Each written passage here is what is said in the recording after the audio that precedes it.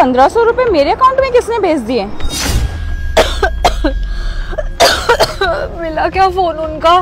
पता नहीं यार क्या हो रहा है? घंटी नहीं जा रही मैं एक बार और कोशिश करता हूँ। मिल गया। हेलो हेलो कौन बोल रहा है? अरे भैया फ़ोन आपने ही किया है। आप बताओ किससे बात करनी है? वो मैडम आपके अकाउंट में ना अभी अभी पंद्रह सौ रुपये आए होंगे। हाँ पंद्रह सौ रुपए तो आए हैं। मैडम, वो पैसे मेरे आएँगे, मैंने अपने ठेकेदार से ना पैसे उधार लिए थे।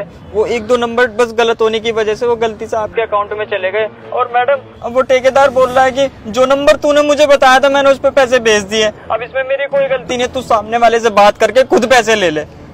मैडम, मेरे पैसे दे दो। अरे भैया, मुझे क्या पता, पैसे आपके हैं, किसी और के हैं, क्या लफड़ा है ये अगर आपके पैसे हैं ना भैया, मेरे सामने आ जाओ और ले जाओ। मैडम मैं झूठ नहीं बोल रहा। अगर मैं झूठ बोल रहा होता तो मुझे कैसे पता चलता आपके पास पंद्रह सौ रुपए आए हैं? और मैडम रही सामने आने की बात मैं सामने नहीं आ सकता। मैडम मेरी बीवी की बहुत तबीयत खराब है कि उसे हॉस्पिटल लेके जाना है। इसीलिए मैंने ठेकेदार से पैसे उधार लिए थे। मैडम मैं आपके आगे हाथ जोड़ता हूँ पैसे भेज दो मैडम। भैया किस नंबर पे पैसे भेजने हैं? जिससे अपने कॉल करिए उसी पे भेजने हैं क्या? हाँ हाँ मैडम इसी नंबर पे करना है। ठीक है मैं अभी दे रही हूँ। पता नहीं कैसे बेवकूफ़ लोग हैं।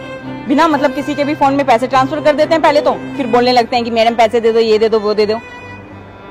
पता नहीं यार लोगों का भी। यही नंबर आया था ना इसका? हाँ यही था। पंद्रह सौ रुपये करने फाइव डबल ज़ीरो जोया अब पैसे आ रहे हैं।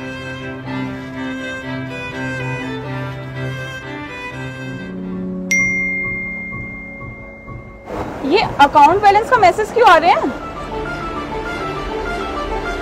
शिट मेरा अकाउंट बैलेंस ज़ीरो कैसे हो गया? इसमें तो लाखों रुपए थे। ये कैसे हो सकता है? मैंने कुछ गलत तो नहीं देख लिया। शिट ये तो ज़ीरो है।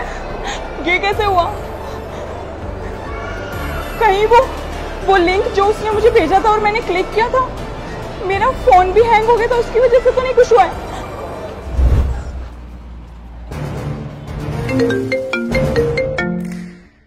हेलो हेलो मैडम हम हॉस्पिटल जाने के लिए निकल रहे हैं मगर आपने पैसे नहीं भेजे हैं। अरे भैया मैंने पैसे भेज तो दिए आपके पास। मैडम मैं झूठ नहीं बोल रहा हूँ मेरे पास कोई पैसे नहीं आए। अगर आपको यकीन नहीं आ रहा ना मैं आपको एक मैसेज भेज दे रहा हूँ आप उस पर क्लिक करके देख लेना। मेरा अकाउंट बैलेंस ज़ीरो हैगा। अरे भैया सुनो।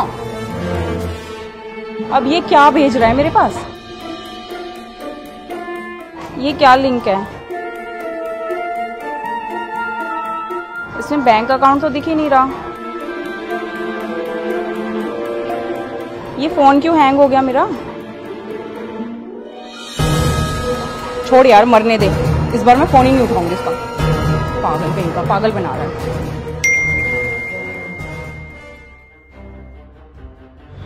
जोया उसने लिंक पे क्लिक कर दिया। जल्दी लैपटॉप लेकर आ फटाफट। ये मेरे को दे ये। कोड बता मेरे को फटाफट। हाँ लिख। हाँ। Five six five six seven eight seven eight अबे इसके अकाउंट में देख कितना पैसा है। अबे इतना पैसा तो मैंने कभी ज़िंदगी में भी नहीं देखा। जल्दी अकाउंट खाली कर इसका। अभी करता हूँ इसका अकाउंट खाली। हो गया अकाउंट खाली। चल चल चल निकलते हैं यहाँ से। चल चल चल। लगता है मेरे साथ स्कैम हो गया। मेरी एक छोटी सी गलती के कारण मेरी मेहनत की सारी कमाई चली। हो जाओ सावधान, क्योंकि मार्केट में एक नया स्कैम आ चुका है। हम सभी लोग आजकल अपने बैंक अकाउंट को अपने यूपीआई से कनेक्ट रखते हैं और इसी का फ़ायदा ये स्कैम करने वाले लोग उठाते हैं। और इस वीडियो में आपने देखा कि कैसे ये लोग इतने भोलापन दिखाकर इस लड़की के साथ स्कैम कर जाते हैं। अगर आपको ऐसे स्कैम से बचना है तो एक बात ध्यान रखना, आज के बाद आपके पास ऐसी कोई कॉल आती है तो उसको पैसे ट्रांसफ़र नहीं करने हैं। उसको एक ही बात बोलनी है कि भाई, तू मेरे सामने आ जा और अपने पैसे ले जा, क्योंकि सावधान रहोगे, सतर्क रहोगे, तभी आपका बैंक अकाउंट और आपके पैसे सेफ़ रहेंगे। जय हिंद।